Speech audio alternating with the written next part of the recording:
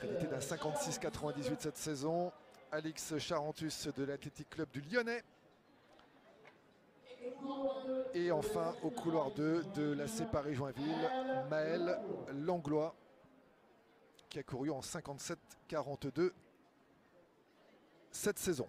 Course plus disputée sur le papier.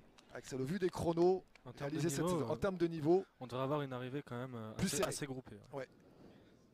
Il y aura peut-être un peu plus de suspense que lors de la, première finale chez les filles que l'on a vu avec euh, la victoire nette et sans aucune discussion de Diana Iskai. Avec un petit avantage sur le papier au couloir 7 pour Marina Lasserre, descendue sous les 57 secondes cette saison, tout comme euh, Jessica Dufour. Couloir 4.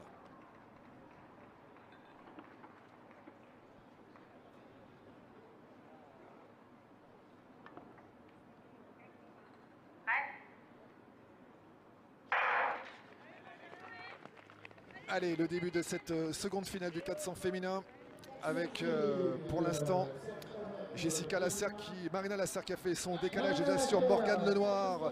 Vous le voyez dans la, ligne droite opposée. Et puis Jessica Dufour qui va être forcément également euh, eh bien, à l'affût pour euh, disputer la victoire à, Marina Lasserre. Ça va être intéressant de voir ce que ça va donner. Eh bien, dans ce dernier virage, la négociation des 200 euh, derniers mètres. Avec euh, pour l'instant eh bien, toujours une belle démonstration de Marina Lasserre, mais qui sera peut-être pas seule au monde dans l'entrée de la dernière ligne droite. Pour l'instant, le vent qui euh, continue à faire des siennes, mais pour l'instant, eh bien, Marina Lasserre euh, qui est en train de craquer sur cette course. Et la victoire finalement, la victoire finalement au couloir numéro 5 pour Senabou Camara de l'Union Athlétique Occitane 31 qui, euh, eh bien voilà, finalement a déjoué un peu nos pronostics, mes pronostics par rapport au chrono des engagés. Il ne faut jamais